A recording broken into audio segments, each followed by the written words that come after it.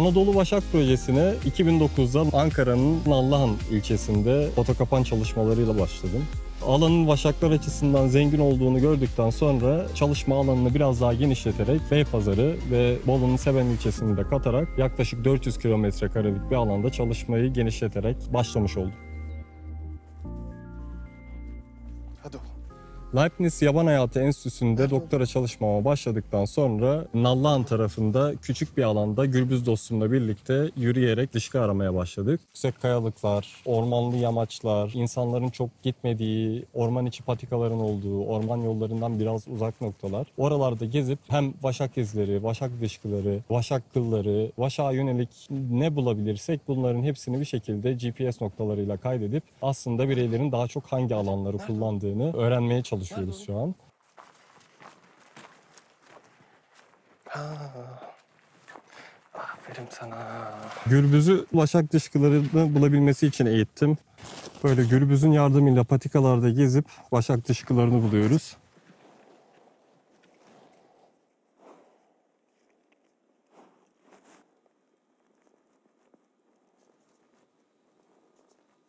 Gürbüz'ün bulduğu dışkılardan önce genetik örnek almamız gerekiyor. Çünkü bireysel olarak hayvanları tanımamız gerekiyor. Ee, tabii dışkıyı almanın amacı da başağın beslendiği başlıca av türlerini belirlemek. Örneğimizi alıp GPS noktamızla birlikte kaydediyoruz.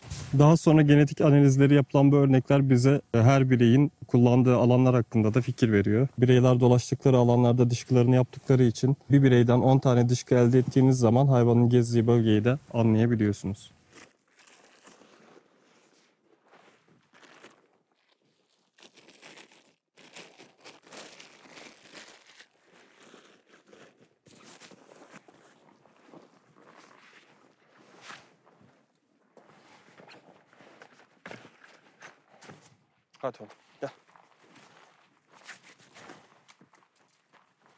Tabii gezerken bir yandan da dışkı topluyoruz. Vaşak dışkıları topluyoruz. Bu da ileride yapacağım vaşak diyeti çalışması açısından çok önemli. Ancak bu bir şekilde bana vaşakların nerelerde bulunduğunu, e, daha çok hangi alanlarını kullandığını da söylediği için 1-2 yıl sonra da yapmamız gereken şey vaşakların en çok kullandığı alanlara yakalama kapanlarını ku- kurmak olacak. Çünkü e, umarım vaşak yakalayarak bir yandan da vaşakların alanı nasıl kullandığını, e, nereler gezdiğini, alan büyüklüklerini, birbirleriyle ilişkilerini de anlamaya çalışacağım. Aslında bu çalışmanın amacı da ilerideki vaşak koruma çalışmalarına, tür koruma eylem planlarına, gerekli veri tabanlarına hazırlamak.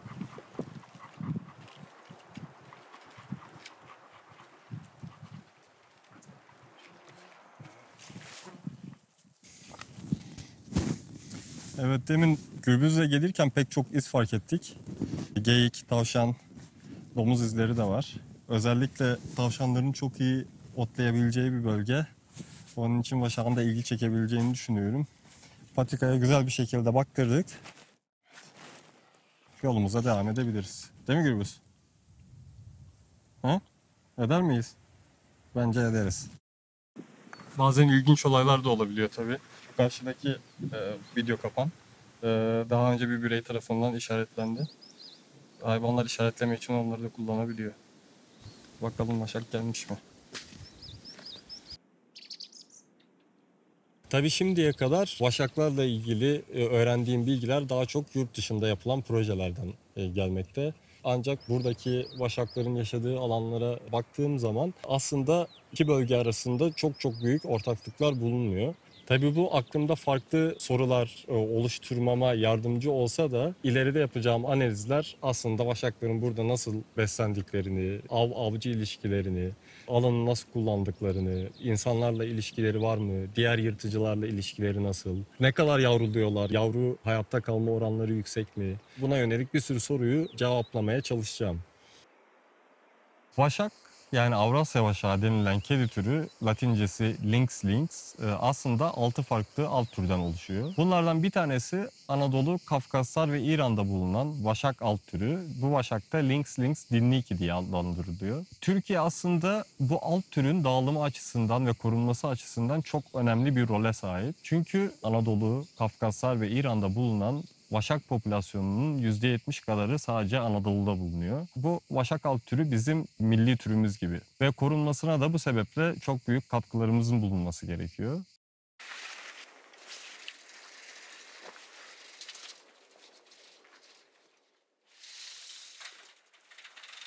...2009 ile 2014 arasında bulduğumuz izler, dışkılar, arazide kurduğumuz foto kapanlar sayesinde vaşakların bir şekilde nerelerde gezdiğini anladık. Bu sonuçlara göre de vaşak yakalama kapanlarını kurmaya başlıyoruz. Onları da vaşakların çok sık kullandığı, özellikle bir değil iki ya da üç vaşağın aynı anda kullandığı geçiş noktalarına kurarak vaşakları yakalamayı planlıyoruz. Bu da vaşakların alandaki habitat seçimini, kullandıkları alan büyüklüklerini, insanlarla olan ilişkilerini, köylere yakınlıkları, uzaklıkları, hangi geçiş bölgelerini kullanıyorlar, insanların oluşturduğu yol, e, baraj gibi bariyerler vaşaklara engel mi, değil mi? E, Genç vaşaklar annelerinden ayrıldıktan sonra hangi yolları kullanarak e, kendi alanlarını kurmak için yer değiştiriyorlar?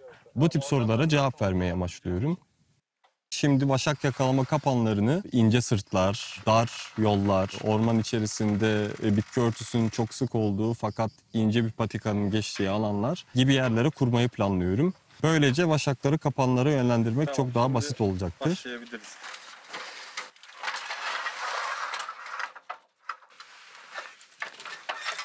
Bırakın. Durdu mu? Eminsin. Evet. Tamam. Tamam şimdi uzaklaşın. Ay. Korktum. kaç kaç. Geliyor.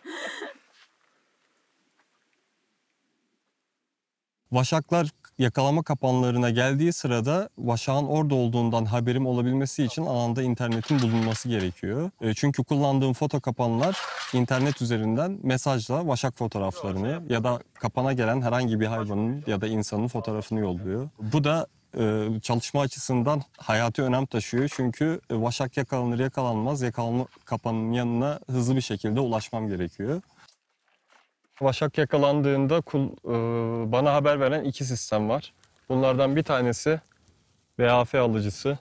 Kapılar düştüğü zaman mıknatıs VHF alıcısından, e, vericisinden daha doğrusu, vericisinden ayrılıp bana haber veriyor. Onun dışında kullandığım GSM'li foto kapanlar var. GSM'li foto kapan ise vaşak kapana girdiği zaman bana fotoğraf yollayıp haber veriyor. E, o sistemin çalışması çok önemli.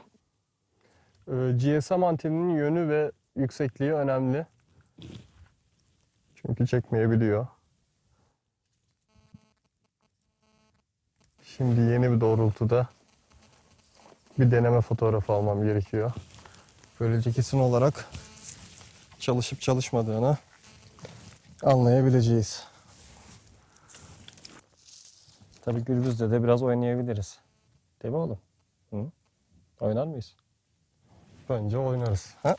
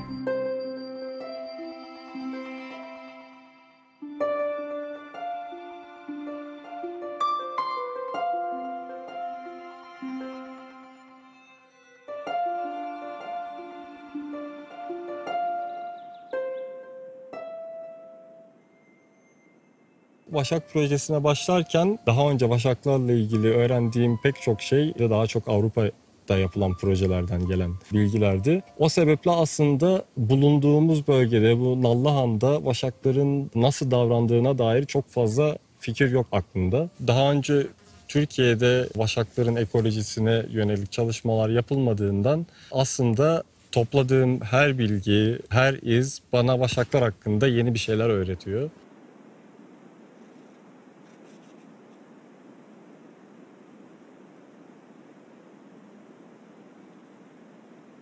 Vaşak yakalamayı belirli dönemlerde yapmak gerekiyor. Çünkü vaşaklar da davranışlarında mevsimsel değişiklikler gösteriyor. Özellikle çiftleşme dönemi olan Mart ile Nisan aylarında e, çok daha aktifler ve çok daha büyük alanlar dolaşarak çiftleşecekleri eşlerini arıyorlar. Bu da yerleştireceğimiz yakalama kapanlarına çok daha fazla vaşak gelmesini sağlayacak. Yerleşik bireylere ek olarak farklı alanlarda bulunan bireyler de bölgeyi ziyaret edebiliyor. Onun için aslında yakalama şansı artıyor. Çiftleşme döneminde işaretlemeyi çok daha fazla arttırıyorlar. İşaretleme ile birbirlerine aslında koku yoluyla çiftleşmeye hazır olup olmadıklarını gösteriyorlar. Tabii bu işaretleme bir yandan da erkeğin alanı içerisinde olduğu için diğer komşu erkeklere de bir şekilde mesaj oluyor. Ve tabii ilginç olan bir durum aslında vaşaklar hayalet olarak bilinirler. Bu da aslında gececil olmalarından kaynaklanır.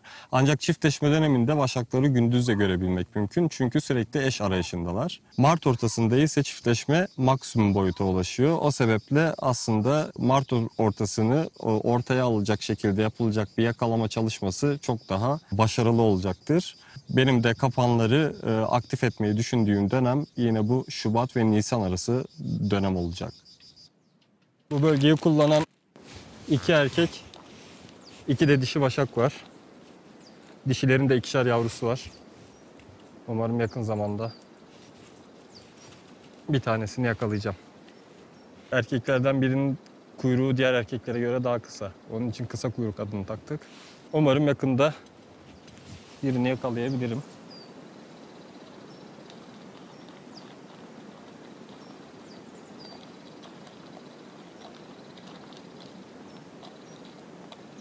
Vaşakların alan işaretleme için kullandıkları belirli yöntemler var. Bunlardan bir tanesi idrar ile işaretleme. Diğeri tırnaklarla işaretleme ve bunun dışında da dışkıyla işaretlemeyi kullanıyorlar. Bunların amacı ise bulundukları alanda diğer bireylere mesajlar iletmek. Bu mesajlar da çeşitli anlamlara gelebilir. Çiftleşmeye hazır olup olmadıkları, o sırada yavru sahibi olup olmadıkları, diğer bireylere alanın hakimi olduklarını belirten ve erişkin ya da yavru olduklarını belirten işaretler.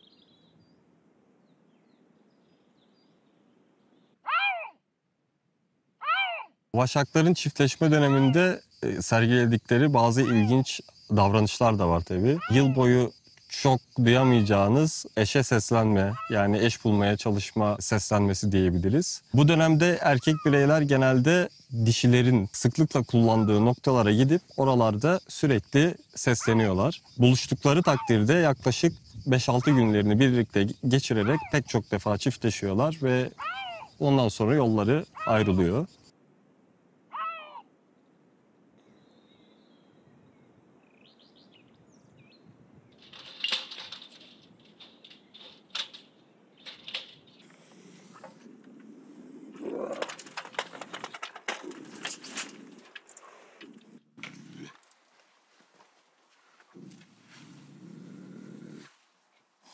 Bu vaşağı iki yıldır fotoğraflıyordum. Foto kapanlı fotoğrafını alıyordum. Bu bölgeye de bu vaşağı yakalamak umuduyla aslında kapan kurdum. Nallan'da yakaladığım 8. vaşak fakat tasmalayabildiğim 3. vaşak. Çünkü daha önce kapanlarla ilgili sıkıntı yaşadık. Kapan sistemlerini değiştirdik. Şu an kaçamıyorlar diye düşünüyoruz artık. Bu da bunu belgeleyen ilk birey oldu tabii.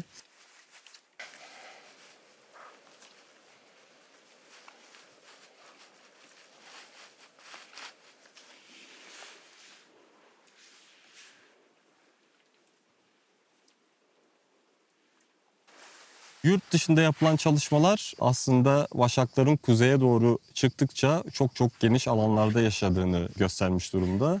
Bu çalışmayla birlikte Türkiye'deki vaşakların ne kadar büyüklükte alanlar gezdiklerini e, yeni yeni öğreneceğiz. Foto kapan ve video kapan verileri aslında vaşakların alan büyüklüğü açısından fikirler verebiliyor insana. Tabii tasmalama çalışması çok daha kesin bilgiler verecektir. Onu da heyecanla bekliyorum.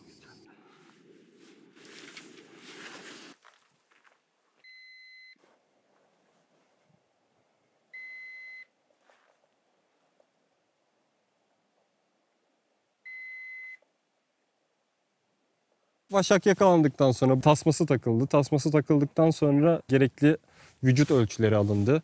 Onun dışında genetik örnekler alındı. Ufak bir doku örneği, kıl örnekleri ve swap örnekleri alındı ağızdan ve makattan. Bunlar tabii ileride yapılacak, vaşakla ilgili yapılacak çalışmalarda, yayınlarda bilinmesi gereken parametreler diyeyim. ve Bireylerin ölçüleri. Tabii Avrupa'daki vaşaklarla çok uzun süredir çalışma yapılıyor. Konuya çok hakimler fakat Türkiye'de vaşaklar biraz daha farklı. Biraz daha küçükler. 2.2 üst diş.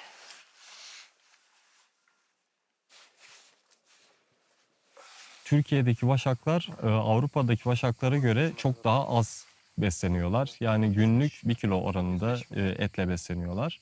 Halbuki e, Avrupa'daki vaşaklar bunun iki katı besin ihtiyacı duyuyorlar. Ve büyük ihtimalle Türkiye'deki vaşakların boyutları da Avrupa'daki vaşakların boyutlarına göre bu sebeple çok daha küçük.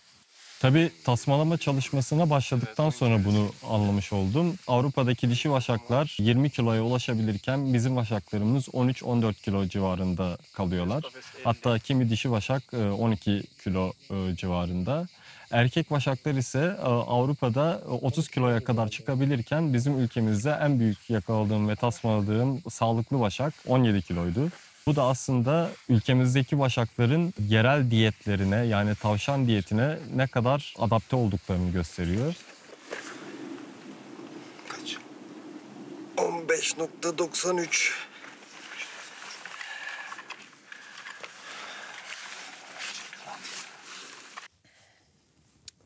Önceli çok mutluyum. Tabii ki mutluyum. Ee, dönemin ilk başağını yakaladım. Ee, büyük bir erkek başak. Ee, kuyruğundan dolayı kısa kuyruk demiştim. Yakın yakinen de görmüş olduk kuyruğu. Ee, diğer başakların kuyruklarına göre biraz daha kısa bir kuyruk. Büyük ihtimalle bir ya da iki kemiği eksik olabilir. Bir 5-10 dakika sonra uyandırıp doğaya dönmesini bekleyeceğiz.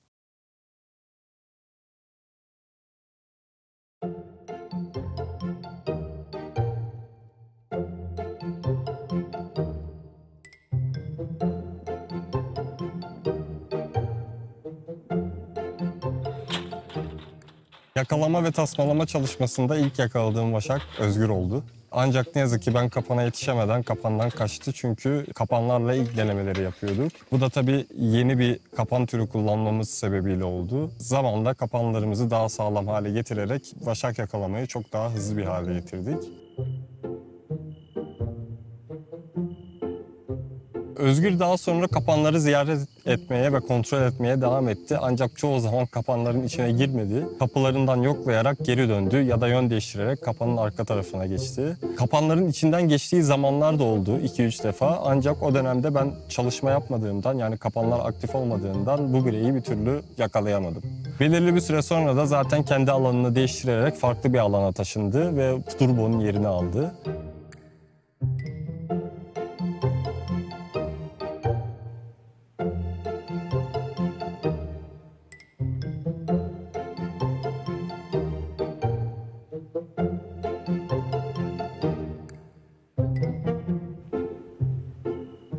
Bu eldivenleri ilk defa ters çevirip içine koku dökmek için kullandım. Fakat ilginç bir şekilde sadece kokuyla değil, şekli dolayısıyla belki yavru başaklar çok ilgilendi. Tavşana benzetiyorlar, kuşa benzetiyorlar bilmiyorum. Oynamaya başladılar. Bayağı işe yarıyor.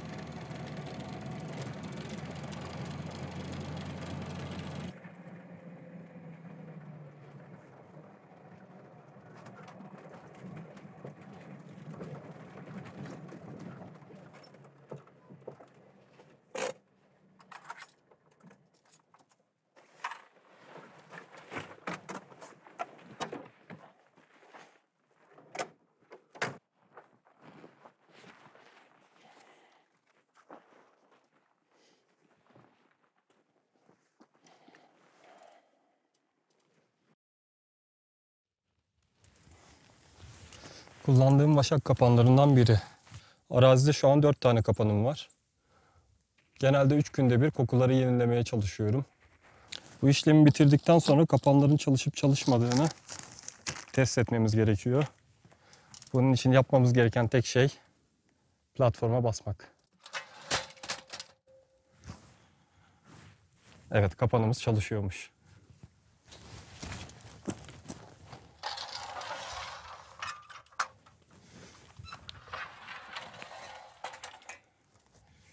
Üçüncü kontrol etmemiz gereken nokta ise vaşak kapana girdiği zaman bana mesaj yollayan foto kapanlar.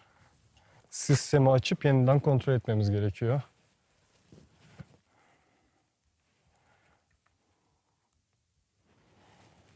Kapanı test edip fotoğraf yollatıyorum. Evet şu an foto kapanımız çalışır vaziyette ve başağı yakalamaya hazır.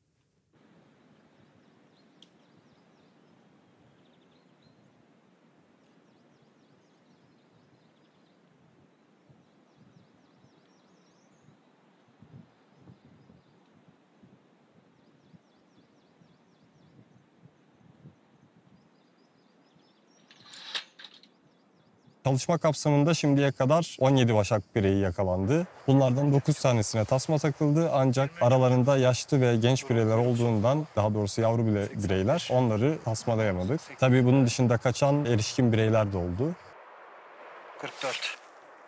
Vaşaklarla ilgili yaptığım popülasyon genetiği çalışması da bize şunu göstermiş oldu. Aslında bu bölgede yaşayan vaşaklar küçük bir alanda yani 400 kilometre karelik bir alanda yaşamalarına rağmen ve aralarında birbiriyle akraba çok fazla dişi olmasına rağmen popülasyonun genetik çeşitliliği Avrupa'daki vaşak popülasyonlarına göre gayet yüksek çıktı. Bu da çok olumlu ve sevindirici bir sonuç aslında.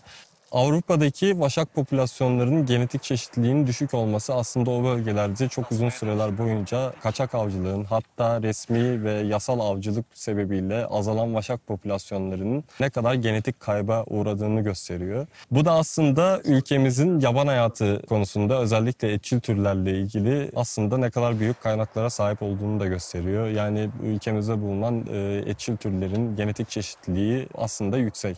Türkiye aslında bu tür için büyük bir genetik çeşitliliğe sahip. Bundan sonrasında yapılacak diğer türlerle ilgili çalışmalarda büyük ihtimalle bunu destekleyecektir. Anadolu Vaşak Projesi'nin en ilgi çekici çıktılarından biri ise bu bölgedeki vaşakların akrabalık ilişkileri ve soy ağacını çıkarmak oldu. Bu benim açımdan çok çok heyecanlı bir çalışmaydı. Bu çalışma sonuçlarına göre bölgede bulunan dişilerin çoğu birbiriyle akraba. Çünkü alanı terk etmek istemiyorlar. Yani annelerin yakınına yerleşmek istiyorlar. Dişiler arasında şöyle bir ilişki vardı. İpek, İpek'in yavrusu Asi, Asi'nin yavrusu Zeyna bir aile grubu. Diğer bir aile grubu ise Eylül. Eylül'ün yavrusu Frida, Frida'nın yavrusu İncebenek'ti. Ancak İncebenek İpek'le giriştiği bir kavga sebebiyle alanı ya terk etmek zorunda kaldı ya da hayatını kaybetmiş oldu. Tabii bunu çok net söyleyemiyoruz. Erkek bireyler ise birbiriyle akraba değiller. Bu da şöyle bir sonucu ortaya koyuyor. Aslında erkekler kendilerine alan kurarken çok daha uzak noktalara yaşam alanı kuruyorlar. Ve bölgedeki dişilerle çiftleşerek genetik çeşitliliği de arttırmış oluyorlar.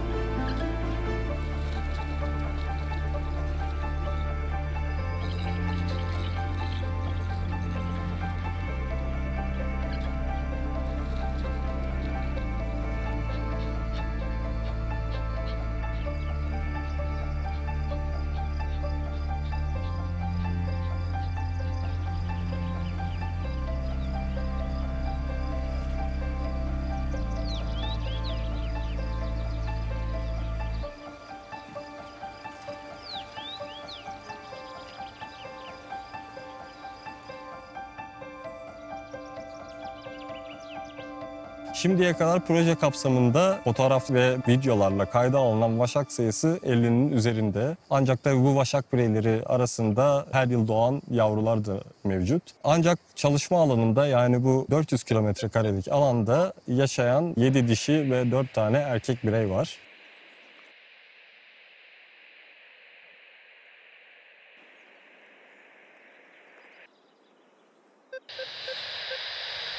Yok. Ee, şu anda 3 hafta önce yakaladığım ardıçın, e, bu bölgede yakaladığım ardıç e, diye erkek yetişkin bir başağın e, sinyalini, UAF sinyalini dinlemeye çalışıyorum. Fakat burada değil büyük ihtimalle. Öğlen saatlerinde dinlemek gerekiyor çünkü bu saate ayarladım. Başakların en az aktivite gösterdiği saat. Bu saatlerde yerlerinde durdukları için yerlerini belirlemek çok daha kolay oluyor. Gece saatlerinde aktifler ve hareket ediyorlar. Onun için çok fazla yer değiştirme ihtimali var. Tepelerin arkasına ardına geçtikleri zaman sinyalleri duyamıyorsunuz. Fakat bu saatlerde gezince hayvan sabit olduğu için yerinde bulma ihtimali var. Ee, Bu noktada ardıçek olarak evrimi de yakalamıştım. Daha genç. Bu yıl e, annesinden ayrılan erkek bir başak. Bu dönemde ayrıldı.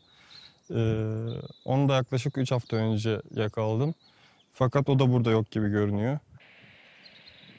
Annesinden ayrıldıktan sonra belirli bir süre bu bölgede yaşayacak. Fakat sonrasında yaklaşık 6-7 ay sonra kendi alanını aramaya başlayacak. 1-2 yıl sonra da büyük ihtimalle kendi alanını kurmuş olacak. Yaklaşık 16 kilometreden veri indirebiliyorum. Onun için genelde veri aktarımını, tasmadan veri indirmeyi zirvelerden yapmaya çalışıyorum. Çünkü tepe noktalarında hem vadilere hakim olabiliyorsunuz hem de uzak mesafeleri görebildiği için alıcı veriyi indirebiliyor kolayca. Türkiye'de bulunan vaşaklar diğer vaşak alt türlerine göre çok daha küçük alanlarda yaşıyorlar. Dişiler yaklaşık 50 ila 60 kilometre karelik alanlarda, erkekler ise 150 ila 200 kilometre karelik alanlarda yaşıyorlar. Alanda bulunan bireyler zamanla değişse de bulunan teritori yani yaşam alanı sayısı değişmiyor. O sebeple popülasyon içerisinde bir dönüşüm olsa da yine alanda her zaman 7 dişi ve 4 erkek vaşak bulunmaya devam ediyor. Tasmalama çalışması aynı zamanda çok ilginç sonuçları da ortaya koymuş oldu. Ee, Şimdiye kadar Türkiye, Kafkaslar ve İran'da vaşakların ne gibi alanları kullandıkları, yayılırken ve alan ararken ne gibi geçitlerden geçtikleri, nasıl alanları kullandıkları konusunda çok fikrimiz yoktu. Çalışma sonuçları şunu göstermiş oldu. Öncelikle İpek'le birlikte yakaladığım İpek'in olduğu Uluhan zamanla alanını genişleterek dere yataklarından, büyük yollardan geçip yeni yer arayışlarına girdi. Ancak çalışmanın en çarpıcı sonucu şuydu. Bu da aslında dünyada vaşak çalışmalarında yine ilklerden biri oldu. Rafi isimli 2017'de yakaladığım erişkin erkek vaşak yaklaşık 4 defa Eskişehir-Ankara sınırında bulunan barajlardan yüzerek Sundiken Dağı'yla bu bölgede bulunan Nallıhan Seven arası hatta Köroğlu Dağları'nı da kapsayan bir bölge arasında gidip gelmeye başladı. Yaklaşık 8 aylık bir takip sürecinde Rafi Eskişehir'e iki defa giderek geri döndü. Yani barajlardan 4 defa yüzmüş oldu. Bu da tabii çok sıra dışı bir durum. Normalde kedigiller sularla çok aşina değillerdir diye bilinir. Ancak tabii Rafi bunun tersini ispatlamış oldu ve 4 defa barajlardan yüzerken yaklaşık 100 ila 200 metrelik mesafeleri yüzerek karşıdan karşıya geçti. Alan ve dişi arayışındaydı.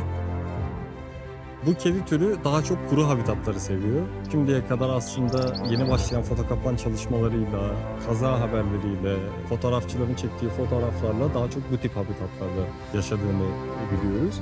Onun için aslında bu açıdan da Avrupa'daki vaşak alt türünden biraz ayrılıyorlar. Çünkü orada vaşaklar biraz daha nemli habitatlarda yaşıyor.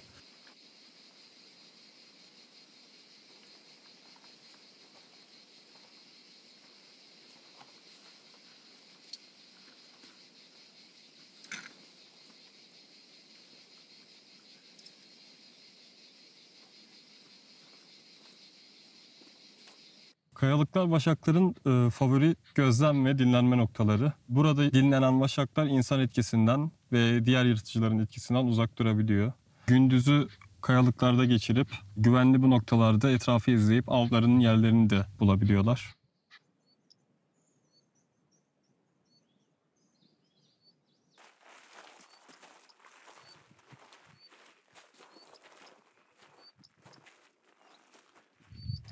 Daha önce vaşakların Türkiye'de neyle beslendiğini çok iyi bilmiyorduk. Ve bu çalışma sonucunda ana besinlerinin tavşan olduğunu görmüş olduk. Vaşaklar %70 ila %90 arasında tavşanla besleniyorlar. Diyetlerin geri kalan kısmını da buldukları farklı küçük memeli ve kuş türleriyle sağlamaya çalışıyorlar. Tabii bu beslenme çalışması sonuçları çok önemli bulgulara da vesile olmuş oldu. Daha önce dünyada sadece bir defa tespit edilmiş kanibalizm yani kendi türünü yeme davranışını da tespit etmiş oldum. Topladığım 250 kadar vaşak dışkısından 10 tanesinde e, vaşak kalıntıları buldum. Bunların içerisinde vaşak tırnakları, vaşak kılları ve kemikleri vardı. Ve belirli bireyler diğer vaşak bireylerini yemişti. Bu da çok sürpriz bir bulgu oldu ve bunu e, yayınladığım besin diyeti makalesinde de bütün dünyayla paylaşmış oldum. Vaşaklar tutsaklıkta 20 yaşına kadar yaşayabilirken doğada bu süre tabii ki çok daha kısa oluyor. Yapılan çalışmalar bunun 12-15 yıl arası değiştiğini göstermiş durumda şimdiye kadar. Bu çalışmada ise en uzun süre yaşayan ve kayda alınan vaşak şimdiye kadar ipekti. Bu bireyi özel olarak uzun süre takip edebildiğim için uzun süre yaşadığını biliyorum. Erkek bireyler ise kimisi gençken alanı terk ediyor, kimisi daha yaşlıyken alanı terk ediyorlar. O sebeple tam olarak kaç yaşında oldukları üzerine e, fikrimiz yok.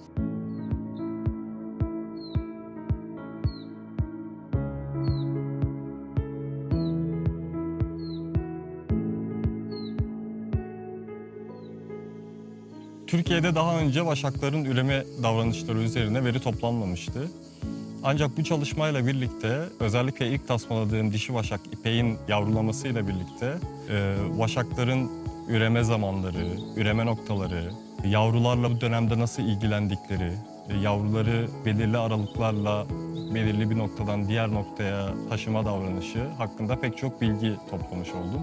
Mart ayında çiftleştikten sonra 65-70 gün arası süren bir hamilelik sürecinden sonra Mayıs ayında ya da en geç Haziran ayı içerisinde yavruluyorlar. Yavru sayısı genelde dişinin yaşına göre ya da sağlık durumuna göre 1 ila 3 arasında, yurt dışında bazen e, Avrupa'daki vaşak popülasyonlarında 4'e kadar yavru sahibi olabiliyorlar. E, Bu çalışmayla birlikte yaklaşık 2012'den bu yana ipeğin, farklı dişi vaşakların 1 ila 3 yavru arasında yavruya sahip olabildiğini tespit etmiş oldum. Yavru sayısı büyük ihtimalle yıldan yıla dişi vaşağın beslenme durumuna göre ya da yavruyu koruyup koruyamadığına göre değişebiliyor. Bazı yıllar bir yavru yapan vaşak ya da bir yavru büyütebilen dişi vaşak diğer yıllarda 3 yavruya kadar büyütüp yeni alanlar için onları gönderebiliyor.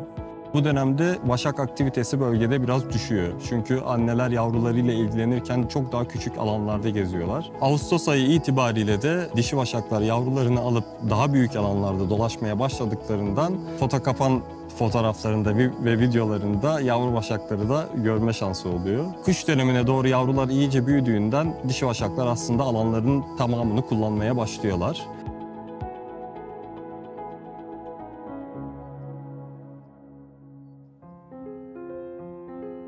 Vaşak projesini yürüttüğüm son 10 yıl içerisinde çok fazla yaşadığım zorluğa rağmen aslında geriye dönüp baktığımda bana kattığı pek çok şeyi görüyorum. Bunlardan bir tanesi kazandığım deneyim. Onun dışında bana verdiği mutluluk da var tabii. Çünkü şu an vaşakların hayatlarına dair, Türkiye'de vaşağa dair, Türkiye'de ileride yapılacak vaşak koruma çalışmalarına dair elimde çok fazla bilgi var. En yakın zamanda da tür koruma eylem planlarını hazırlayıp bu türün Anadolu'da ve bu coğrafyada çok uzun süreler boyunca hayatta kalması için elimden geleni yapacağım.